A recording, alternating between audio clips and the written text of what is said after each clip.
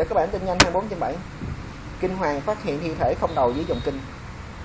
Chiều ngày 15 tháng 2 Người dân phát hỏa khi một người bị thối rữa không nguyên vẹn bộ phận tại kinh Thâm Lương cách cầu Thâm Lương 500m thuộc đường A3 khu tái định cư phường Tân Thứ Nhất quận 12 thành phố Hồ Chí Minh.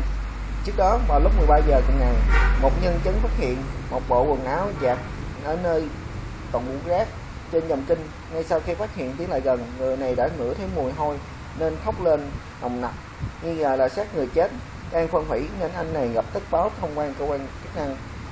Tại hiện trường, phóng viên ghi nhận là xét một nam giới thi thể để được phân hủy gần hết.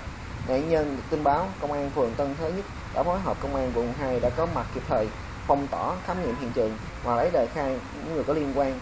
Đến gần 16 giờ, thi thể nạn nhân đã được di chuyển tới khỏi hiện trường, phục vụ công tác khám tử thi.